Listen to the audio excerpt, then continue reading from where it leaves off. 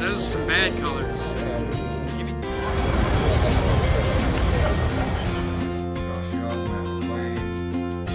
And I still didn't wake up. Good times.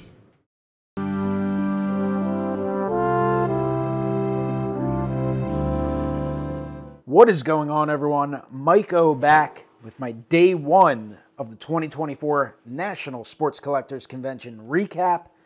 The National, as I've said many times, is always awesome. It's so much fun. It's something we look forward to all year. And once day one finally gets there, it's just a great time. It goes fast. Opened at four today. It's done at eight. Four hours flies by, especially when you're just kind of getting your bearing.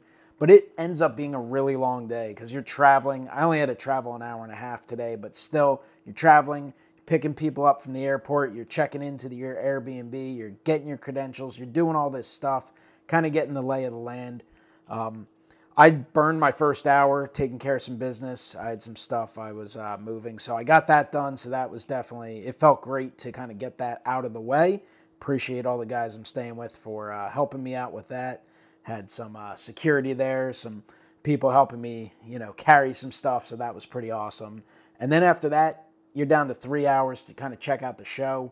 The show's huge, as every national is. It's just no matter how many times you've been there, whether it's your first time or your ninth time, you start to feel a little overwhelmed because you're just like, where do I even begin? Um, this show is divided into two sides, kind of the way I look at it the left and the right. The right side, the front, is where you have some of the original dealers and stuff. So I actually started on the left, did a couple aisles, and then I shifted over to the right. So I got to see a decent amount, but I'm like not even probably a tenth of the way through the show. So I'll be catching up on that. And therefore, I didn't get to see that much. So I didn't pick up a lot. I picked up a couple things, and then I've got a little stack here of gifts from uh, some of the housemates. So I appreciate that. So we'll uh, flip through some of this stuff real quick as we uh, see the day one pickups. Like I said, no huge deals. This was just a cheap uh, pickup. Sealed pack guy. This one, I only picked it up. I like the Conlon collection. a lot of sweet cards in there. This one just happened to feature Connie Mack on the front. So I figured I'd pick that one up for the collection. Then Robert, who's here on YouTube, Prestige, Prestige Collectibles. You guys should check him out. He is on the right side. Uh, I think he's he's in aisle 300 or 400, but he has all the Japanese cards, you know, some of your current Japanese stars and then vintage, and then he'll have some major leaguers as well. So I picked up some of these Konamis. I want to say these are from about 2005. I think I have a couple of them. I know I have the Rollins, so got Jon Lieber, who actually had a nice little two-year run with the Phils. Ryan Howard, who's obviously one of the all-time great power hitters in franchise history. Pat Burrell, part of the World Series team. Then I got a couple Bobby Abreu's here. Uh, one of those is going to go to a family member. Those are from 2006. So always like to support Robert if you guys are into any of the Japanese cards. And he has like a whole showcase full of Ichiros and stuff. So um, awesome member of the community. So thank you for the deal on those, Robert. And then I picked up a couple oddballs. Got this Mike Schmidt. That's from 1988. So you got the disc game from the uh, Cadaco game.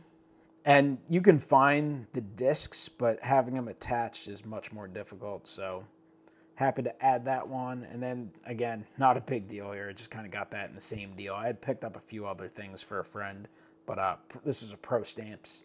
So Gregg Jefferies, and then you've got a couple other guys here. Mickey Morandini, Paul Quantrill, who was actually an opening day starter for the Phillies one year, and Darren Daulton and the team stamp. So just kind of a neat thing to add to the collection. Uh, I mostly was focusing on some of the pre-war stuff. Saw some neat stuff, but nothing that jumped out at me, nothing I needed. So hopefully I'll find some bigger stuff in the coming days. Some of the gifts. We got the Hitman 23 card here. May the cardboard gods shine down upon us all. So awesome card there from Mike. And then we got some little packs of cards here. Uh, this is also from Mike. So this is kind of what actually prompted Mike to end up staying with us. He had messaged me about this Zack Wheeler, asking if I had it, the team logo parallel from 2024 Topps of Zack Wheeler. I did not have it. He offered it to me, so appreciate that, Mike. And uh, then we start talking because we housed together in AC, and Mike didn't make it last year, but uh, now he's part of the group here. And then he sent me this, or handed me this huge stack of fun stuff. We got the 1990 Fleer Terry Mulholland. We got some more Mulhollands here. 92 Upper Deck. We got Stadium Club Topps. We got the Leaf, 93 Leaf. I believe Ed is uh, doing a signed set of that. Fleer Ultra, beautiful card. I mean, a lot of these I have in binders, but I'm always happy to have plenty more. Fun to go through. I like Select. Triple Play, the old Triple Play cards are pretty neat. Flair, man, we could use some Flair again. 92 Fleer, 93 Bowman. Terry Mulholland, I was lucky enough to witness his no hitter August 15th, 1990. Super fun. Just one of those games. You never know what you'll see at a major league game, and you'll never know what you remember from it. I remember being at that game with my dad and my brother and being super excited. Been lucky enough to be at two no hitters. Also, was at Roy Halladay's postseason no hitter.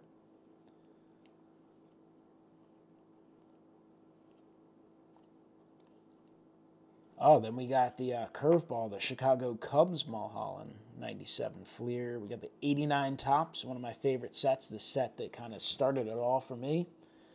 Then a handful of New England Patriots here. We got Julian Edelman, who actually has a really good podcast. I, I listen to it from time to time. Rob Gronkowski card.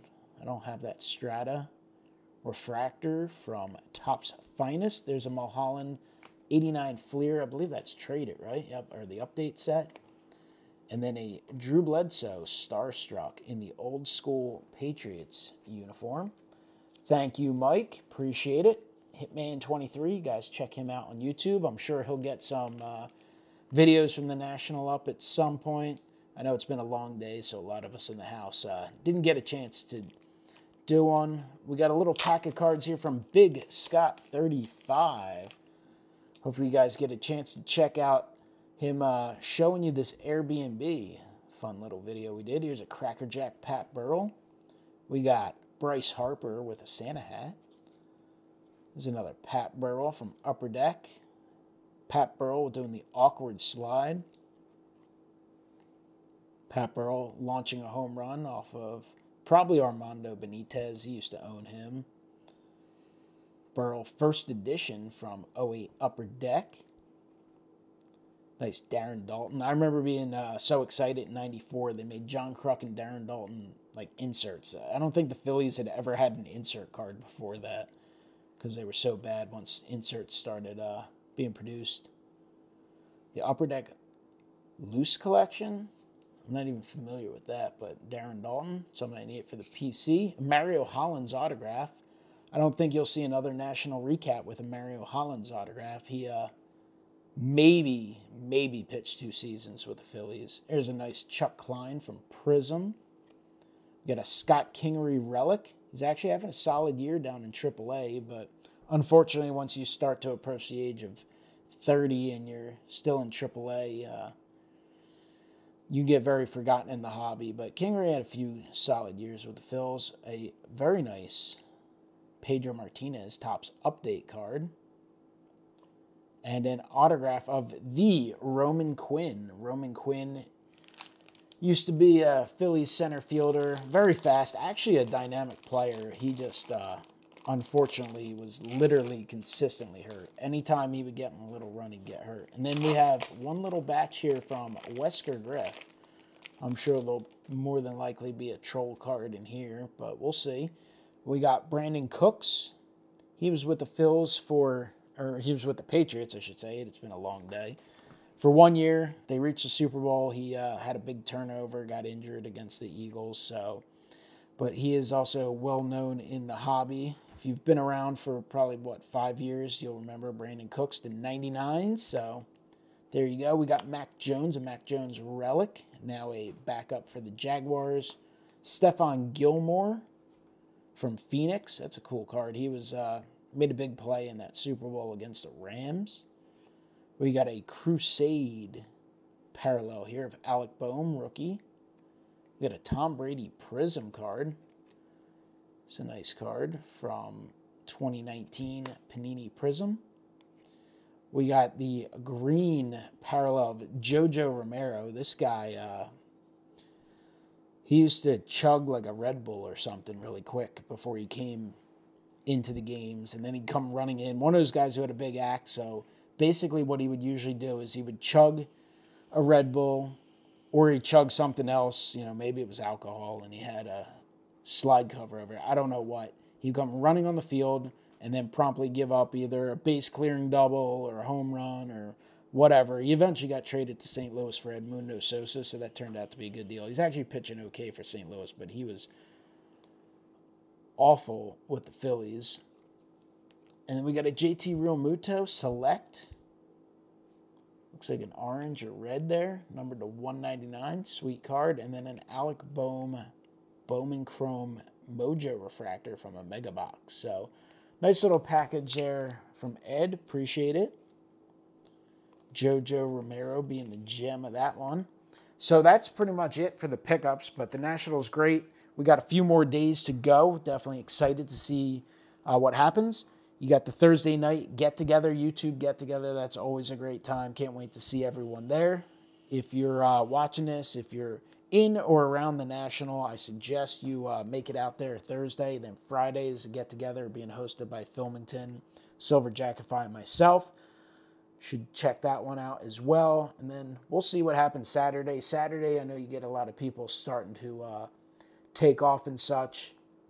And then a lot of people have early travel, so that's probably a little more calm of a day. But I know there's trade nights uh, Thursday and Friday as well as Saturday. So there's plenty of time. I mean, the show's from 10 to 6, and then you have trade nights and like after shows and all kinds of cool stuff. So make sure you uh, check those out if you're in the area. Otherwise, appreciate you guys watching. Comment below, let me know what you think. Check out everyone else's uh, channels.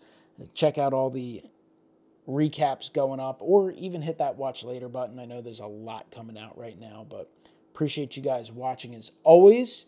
Uh, Dave is here. I'm sure he wants to say something in the tradition of these recap videos. Go Jets. Go Phils. Go Pats. Thank you for watching, and I will talk to you next time. Have a great one.